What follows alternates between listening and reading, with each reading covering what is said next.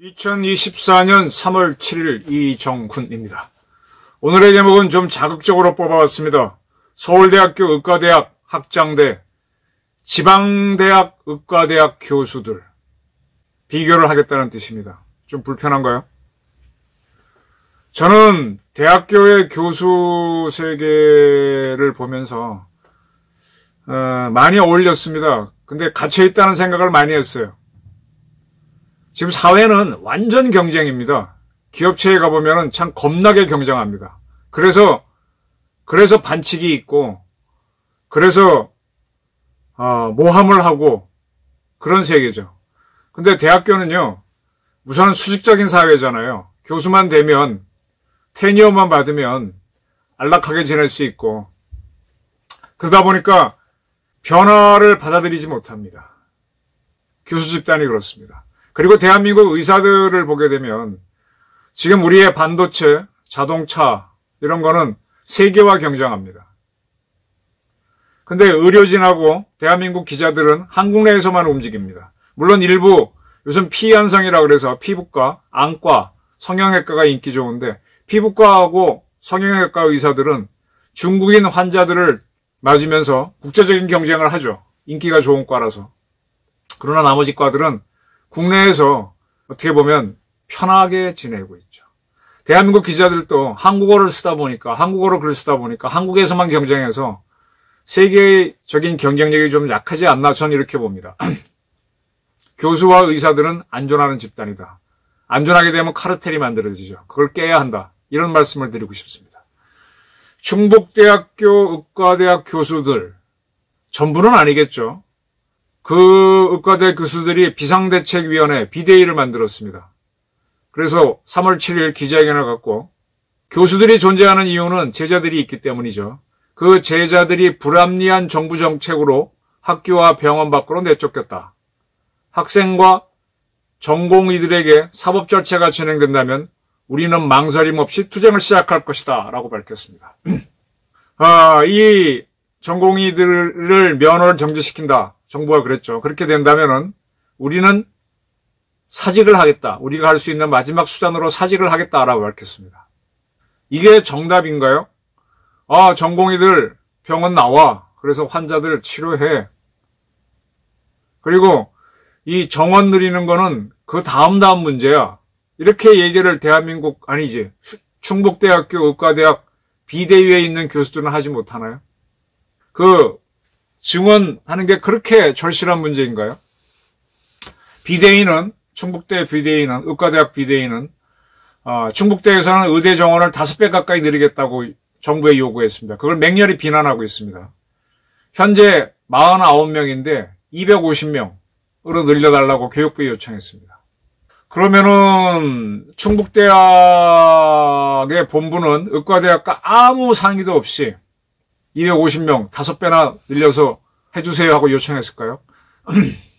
비대위 교수들은 의대 교수들의 의견을 수렴하는 어떠한 합의 과정 없이 독단적으로 증언을 결정한 것은 매우 독단적으로 증언을 결정한 것에 대해 깊은 우려를 포한다 그랬습니다. 글쎄요. 그러면서 이렇게 250명으로 늘려놓으면 1970년대 국민학교, 예, 제가 다닐 때죠. 그때 오전반, 오후반 있었어요. 그렇게 수업해야 된다라고 했습니다. 정말로 의과대학 교수들하고 상의가 없었나요? 의대의 요청이 없었나요? 참 궁금합니다. 그리고 상의를 했으면 이분들은 어떤 의견을 비쳤을까요? 여기뿐만 아닙니다. 전북대학교 의과대학 교수들은 총장실을 찾아가서 항의를 했습니다. 전부는 아닙니다. 충북, 어, 전북대 여러 명의 교수가 있을 텐데 4, 5명이 양호봉 총장을 찾아가서 왜 증언을 그렇게 많이 하느냐고 따지고 철회하라고 요구했답니다. 이 양호봉 총장은 3월 어, 5일 한 언론과의 인터뷰에서 지역민 대다수가 의료 사각지대에 있다. 전북에서는. 그래서 증원이 꼭 필요하다. 전북대 병원 중에 군산에 분원이 있는데 군산 병원이 군산 분원이 500병상 규모로 지어져 27년도에 개원하려고 한다. 그러려면 거기에 의사가 필요한데 그 최소한 의사 120명이 필요한데 그 의사를 전북대가 전북대 의대가 다 하지 못한다. 물론 전북대 혼자 하지는 않겠죠. 뭐 원광대도 있고 하겠지만. 그리고 군산 남원 진안인 공경의료원도 어, 의사가 92명이 필요한데 68명밖에 없다. 그 더 필요하기 때문에 나는 증원이 필요하다고 본다라고 밝혔습니다.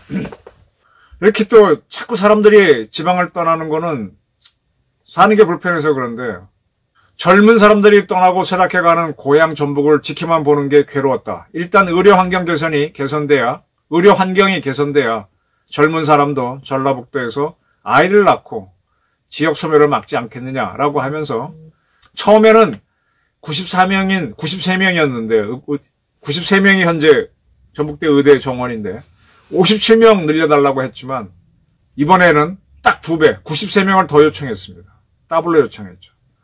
이렇게 요청한 거에 대해서 전북대 의대 교수들이 몇 명이 찾아가서 왜 그러냐고 따지고 있습니다. 어, 원광대학교 의대 전북에 있죠. 거기도 일부 의대 교수들이 등록금 확충에 눈이 먼 대학과 총장에 의해 의대 수요 조사가 일방적으로 진행됐다면서 반대하는 뜻을 표명하고 있습니다. 글쎄요.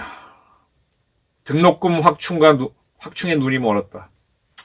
저희가 대학 다닐 때는 대학 교수님들이 굉장히 권위가 있었어요. 어, 상대적으로 굉장히 부자였어요. 사회는 가난했습니다. 근데 요즘 교수님들 만나보면 교수님들이 대기업체에서 한 부장급 정도밖에 봉급이 안 됩니다. 사회적 지위는 거의 뭐 꽤 높아서 장관으로도 바로 가는 교수들이 있는데 그래요. 저희가 대학 다닐 때 대학 총장이라 그러면은 재벌 총수들하고 이렇게 식사를 하시는 모습이었는데 요 근래 보게 되면은 아, 한 2000년부터 이제 각 재벌들이 각 대학에 건물들을 많이 지어줬죠. 뭐 고려대학교에 엘포관, 연세대학교에 무슨 뭐 대우 경영관 이런 식으로 많이 서울대도 그렇고 호암관 그러면서 옛날에는 그런 건물 하나 지게 되면 거의 재벌 총수가 와서 낙성을 했는데 그 후에 쭉 지켜보니까 사장도 안 오고 그냥 상무이사 정도가 와서 하더라고요. 대학의 수준이 사회, 기업은 쫙 올라갔습니다. 어, 삼성그룹 같은 경우 강북 삼성병원하고 삼성의료원이라는 병원을 갖고 있는데 그 병원장은요.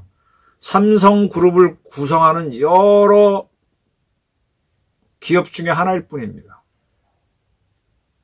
국민 여러분들은 병원에 가게 되면 병원장 힘이 굉장히 세다고 보지만은 삼성의료원의 원장은요. 삼성전자가 워낙 매출액이 크기 때문에 삼성그룹 안에서는 별 볼일 없는 그런 자회사의 하나에 불과하고요. 포스코 같은 경우 대단한 기업이잖아요. 포스코가 만든 대학이 포스텍입니다. 포항공대.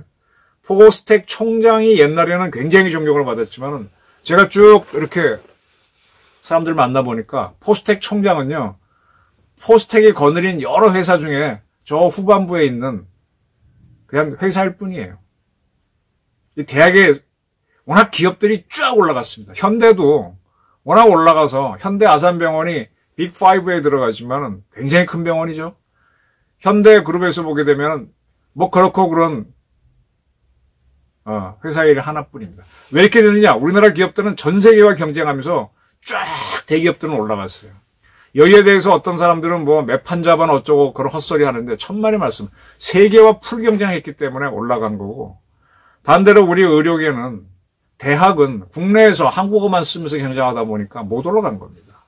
옛날엔 높았어요. 한국 언론도 마찬가지고요. 또 다른 대학도 볼까요? 경북대 의대 학장단은 입학 정원 증가에 대해서 반대한다고 밝혔습니다. 학생과 교수의 동의를 구하지 않은 정치적 증언은 반대한다. 예, 경북대에도 110명에서 250명으로 늘려달라고 요청했어요. 두 배 이상 요청했는데 다 반대하고 있습니다. 이게 뭐냐? 이 기업 무한 경쟁을 해보면요, 이 사람이 이제 살다 보면 급수가 달라지잖아요. 다 모든 사람이 두려움이 있잖아요. 저도 두려움이 많습니다. 뭐 새로운 거 하거나 어디 가려면 참 쑥스럽고 용기도 안 나고 두려워요. 익숙한 거 가게 되면 눈 감고도 하잖아요. 에? 자기 자는 방에서 눈 감고도 뭐 탁탁탁 불 켜고 다 하지 않습니까? 근데 처음 간 데 가게 되면 냄새나, 냄새 다르지, 바람 다르지, 막 이러니까 막 뭐 많이 둘러보고, 그러니까 그 다음 액션을 못 하고 주저주저 하잖아요. 익숙한 데서는 바로 뭐 휙 뛰어들 수 있지만. 이 대학이라고 하는 딱 갇힌 공간에 있으면요. 세상과 좀 단절돼, 물론 학문의 세계가 단절될 필요도 있죠. 도 닦는 공간이니까 어떤 면에서. 근데 너무 단절돼 있으면 헛소리 합니다. 사회가 요구하는 인재를 키우는 게 아니라 자기들이 키울 수 있는 인재나 키우고 있어요. 대한민국 최고의 대학 서울대학에 대해서 왜 세계 랭킹이 30위권밖에 안 되냐고 질타를 많이 합니다. 하버드, 예일, 프린스턴, 스탠포드 이런 거하고 경쟁 못하냐 그러거든요. 그러려면 서울대학교거든요. 세계랑 경쟁하려면 한국 세계를 떠나야죠. 서울대학교 의과대학 총학장 김정은 교수가 이렇게 교수들한테 이메일을 보냈습니다. 우리의 후속 세대인 학생과 전공의들이 학교와 병원을 떠나는 현 상황에서 이들을 보호하는 것이 무엇보다 중요하다라고 한 후 현 시점에서 다른 의과대학이나 다른 병원이 아닌 서울대 의과대학과 서울대 병원이 전해야 하는 메시지는 대한민국 국민의 건강을 책임진다. 여야 한다. 그랬습니다. 우리 학생들을 지키고 전공의를 지키는 게 아니라 대한민국 국민의 건강을 책임진다 라는 메시지를 서울대학교 의과대학하고 서울대학교 병원은 전달해야 된다. 라고 이야기했습니다. 뭐, 지방대학교 몇몇 의과대학 교수들이 얘기한 거랑 다른 차원의 얘기를 하고 있습니다. 누구도 중재자가 되기 힘든 시점에서 중재자는 국민이어야 된다. 아, 이건 뭐냐? 지금 이렇게 갈등이 일어나고 있는데 이 갈등을 중재하고 갈등의 결론을 내릴 사람은 국민이어야 된다라고 김정은 학장은 이야기한 겁니다. 국민들이 의과대학 정원을 늘려서 의사를 늘려라라고 하는 게 많다면 그리 가자는 얘기죠. 서울대 의대 교수들의 역할은 국민의 바른 의학, 바른 의료의 방향을 전하는 것이 되어야 된다. 이야, 교수들이 사직서 대신 직접 국민들과 대화해야 한다. 서울대 전체 차원에서 의대 내부의 목소리뿐 아니라 의료계 밖에 의견을 모아 나가 정책적 근거와 대안을 만들어가는 노력을 해야 한다라고 했습니다. 마지막으로 그 누구도 어떤 이유에서든 학생과 전공의들이 복귀하는 것에 대해 그리고 교수가 그들의 복귀를 설득하는 것에 대해 비난하거나 방해해서는 안 된다! 라고 못 박았습니다. 그러면서 자기 옛날 얘기했어요. 자기가 신경외과가 전공인 모양이죠. 신경외과 전공의 시절에 매우 바빴겠죠. 그때 everyday everything emergency 참 전공의들 바쁘죠. 전공의들 바쁜 거는 우리 기자들만큼 바쁜 것 같더라고요. 우리 기자들도 보게 되면 뭐 사회부 기자들은 맨날 경찰서 숙직실에서 그 담배 발꾸랑에 난 데서 자다가 뭐 터지면 쫓아가고 세상에 바쁜 직장이 기자들이 매우 바쁘고 이 레지던트들이 엄청 바쁘고 국가정보원 옛날 안기부 직원들이 참 바쁘더만요. 그 보고서 쓰고 뭐 하느라고 뭐 국정원 직원들 때 얘기 들어보면은 집에 갈 수가 없으니까 그냥 책상을 이렇게 야전 침대도 없으니까 밀어놓고 잔대요. 책상을 밀어놓고 자는데 그냥 자면 추운데 그 신문지를 이렇게 깔고 그걸 덮고 자면 좀 따뜻하답니다. 옛날 신문들은 이렇게 비비면 손에 잉크 묻었잖아요. 아침에 새카매지고. 그또 아침에 깨서 또 보고도 쓰고. 참 옛날에는 일 많이 했어요. 의사들도 많이 했죠. 그래서 everyday 맨날 맨날 출동하고 evening 맨날 밤새고 emergency 맨날 비상 상태를 이니셜로 E라고 해서 머리 글자 E를 딴 거죠. 30대 40대 신경외과 주니어 교수 시절의 자부심을 기억한다 라고 그랬습니다. 그게 서울의대와 서울대병원의 자긍심과 자부심이죠. 이것을 지키고 대한민국 의료, 의과학을 이끌어 나가기 위해 교수들이 중심을 잡아달라고 했습니다. 서울대는 이번에 의학과 입학 정원 15명, 지난번에 서울대에서 그 의학 분업 하면서 약각을 좀 강조하면서 의대 정원을 줄였는데 그거를 다시 원위시켜달라 15명 늘어달라 그랬고 그 다음에 지금 의학은요 지금 의공학으로 발전하고 있어요. 이 AI가 들어오면서 저도 이렇게 얘기 들어보게 되면 옛날에는 이제 AI가 당뇨병 같은 경우에 모든 환자들 사이를 다 모으다 보니까 옛날에는 이 두 가지만 있는 줄 알았더니 세 가지가 있고 새로운 게 많이 발견됩니다. 그리고 우리가 모르는 치료법을 다른 나라가 하는 것도 들어오게 되죠. AI 통하게 되면은 번역이 쉬워지니까 아 이렇게도 방법이 있구나. 그래서 그냥 의료 기술이 폭발적으로 늘어나고 있습니다. 뇌과학까지 가고 있어요. 그러니까 이제 이제 뭐 의사들이 하는 게 아니라 공학이 들어와야 됩니다. 공학이 의 과학이 들어와야 되죠. 그래서 지금 서울대 의과 서울대는 대학원 과정에 의, 의 과학 과정이 있는데 본과에도 학부에도 의과학 50명을 증원하겠다고 해서 자기는 요청했다는 겁니다. 이제 이제 이제 의술련만은 안 되고요. 이제 AI가 들어오게 되면은 아, AI 내가 상황만 설명하고 이렇다라고 하게 되면 AI가 진단 다 해줄 수 있어요. 약도 해줄 수 있고 내 몸의 정보도 AI가 다 한다면. 그러니까 의과학으로 가는 게 맞죠. 김 총장은 이걸 얘기하면서 다른 이야기를 했습니다. 그 등록금이란 얘기를 했을 때 제가 상당히 불편했는데 아까 모 대학 교수들이 대학 교수들 만나게 되면은 옛날엔 자기들이 지위가 높았는데 지금 계속 정부가 등록금을 억제해가지고 교수들 봉급이 안 올라서 대기업으로 따지면 부장 정도밖에 봉급이 안 되잖아요. 상당히 좀 불만들이 많은데 사실은 제가 보기엔 대학교 등록금을 올려주는 게 맞다고 봅니다. 근데 이런 거 할 때는 등록금을 벌기 위해서 대학 정원을 늘렸다. 이렇게 비판이 나오니까, 야, 이 대학 교수님들 진짜 바른 소리 하는 거야. 겉과 속이 다른 거야. 저는 겉과 속이 다르다고 봅니다. 아주 명분론자라고 봅니다. 지금 계속 의학은 의과학으로 막 발전하고 있는데, 거의 인간의 정신세계도 거의 다 잡아낼 정도로 하고 있는데, 지금 뭐 노벨 의학상 나오는 거 보게 되면 상상도 못하는 쪽으로 뭐 인간 유전자를 다 분석하고 있지 않습니까? 우리 지방대학은 지방에 있는 의과대학은 이런 거 안 할 건가요? 안, 하, 안 하더라도 의사들은 계속 배출해서 지방 주민들이 원하는 건 해줘야 될 거 아닙니까? 그래서 저는 현 체제대로 있는 게 공부 안 해도 되잖아요. 공부 안 해도 되잖아요. 제가 보기에요.